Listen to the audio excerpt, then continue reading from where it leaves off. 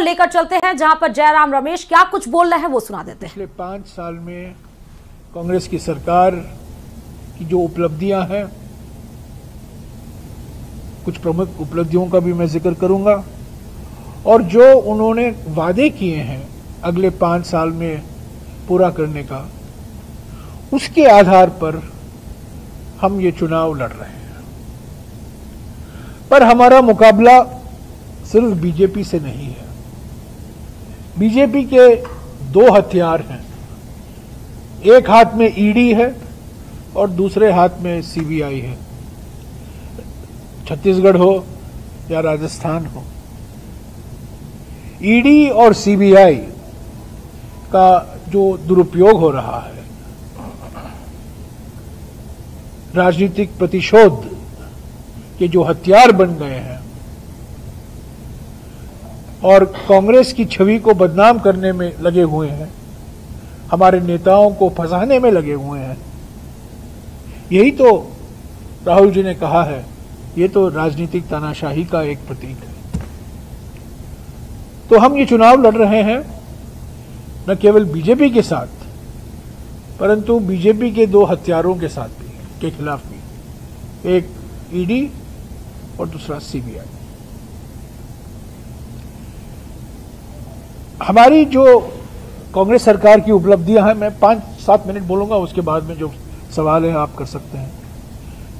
हम ये प्रचार पिछले पाँच साल की उपलब्धियों के आधार पर ही कर रहे हैं। मैं समझता हूँ राजस्थान मॉडल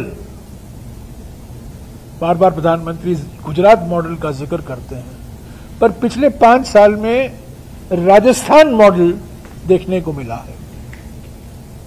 खास तौर से स्वास्थ्य के क्षेत्र में जो चिरंजीवी परियोजना है, आज सारे देश के लिए एक नमूना बन गया है। 25 लाख रुपए तक मुफ़्त इलाज कराना कोई कम बात नहीं है, पर यह सरकार ने करके दिखाया है। शहरी रोज़गार गारंटी परियोजना की शुरुआत की है। किसानों के लिए, महिलाओं के लिए, युवाओं के लिए, समाज के हर वर्ग के लिए, किसानों के लिए जो योजनाएँ चलाई गई हैं, इसी के आधार पर कांग्रेस फिर से राजस्थान की जनता से जनादेश मांग रही है।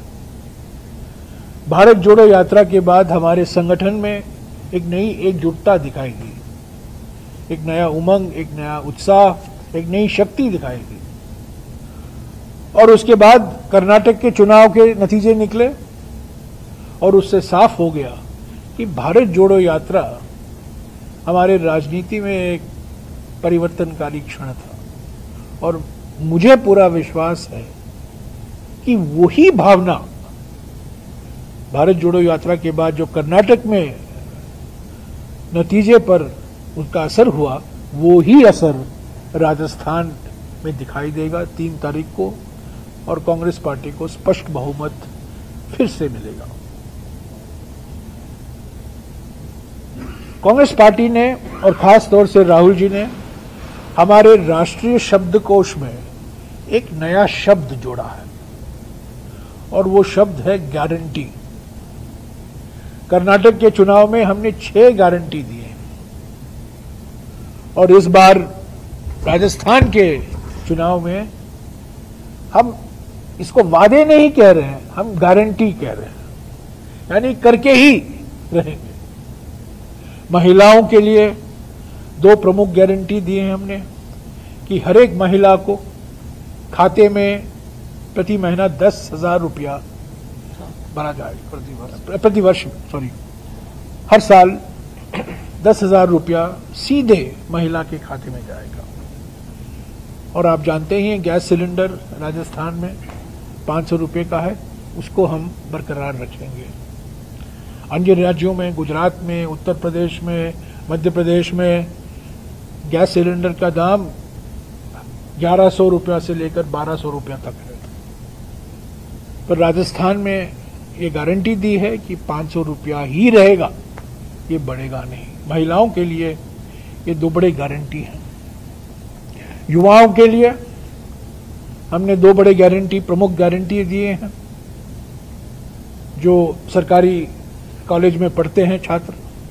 उनको लैपटॉप या टैबलेट मुफ़्त दिया जाएगा, क्योंकि आजकल डिजिटल इंडिया का ज़माना है। और सब लोग चाहते हैं कि वो कंप्यूटर शिक्षा हासिल करें।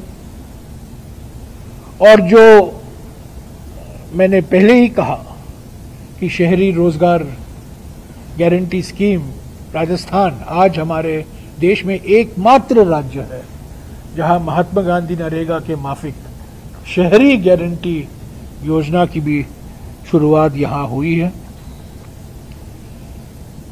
सरकारी कर्मचारियों के लिए हमने गारंटी दी है कि पुराना pension scheme, old pension scheme, OPS जाना जाता है, उसको हम लागू करेंगे।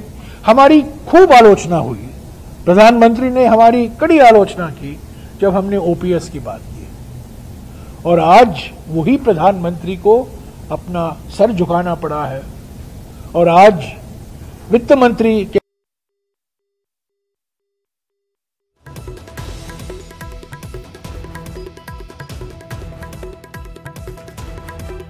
से आपको वो प्रेस कॉन्फ्रेंस करते हुए नज़र आ रहे थे। स्वास्थ्य के क्षेत्र में भी अच्छा काम किया है। युवाओं के भविष्य को देखकर टैबलेट हमने दिया और सबसे बड़ी बात कांग्रेस ने राजस्थान में की है। वो गारंटी की बात कही है। गुजरात मॉडल की बात होती है, लेकिन इन दिनों में राजस्थान मॉडल की बात हो रही है। और इसी के साथ ही रुकते छोटे से ब्रेक के लिए। जल्द हाजिर हुए कहीं मत जाइए। देखते रहिए न्यूज़ एटीन राजस्थान।